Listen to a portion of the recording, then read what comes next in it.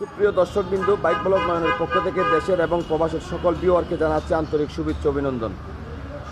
আপনার বাইকটি রাইড করার সময় ডিস্ক ব্রেক থেকে এক কথায় কেলিবার থেকে যদি কট কট শব্দ হয়, কি করবেন? কীভাবে এই সমস্যার সমাধান করবেন? প্রথমে চাকা থেকে কেলিপার খুলে ফেলবেন। কেলিপার খোলার জন্য বারো নং গুটি লাগবে। তো আমরা বাইক থেকে চাকাটা খুলে ফেললাম। এখন কেলিপার থেকে ডিসপ্যাডগুলি বাইর করব।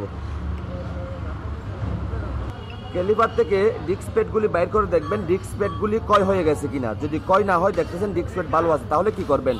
এই যে এখানে স্টিলের একটা স্প্রিং দেখতে পাচ্ছেন, এই স্প্রিংটা বাইর করবেন। স্প্রিংটা বাইর করার পর স্প্রিংটা কি করবেন? একটু হাই করে দিবেন। হাইটা কীভাবে করবেন? এই দেখেন, আমরা করতেছি, এভাবে একটু হাই করে দিবেন। হাই করার পর আবার কেলিবারের মধ্যে ফিটিং করবেন। তো যদি কট কট শব্দ হয়, এই কাজটি করতে পারেন। সবাইকে অনেক অনেক ধন্যবাদ জানিয়ে আজকের মতো বিদায় নিলাম।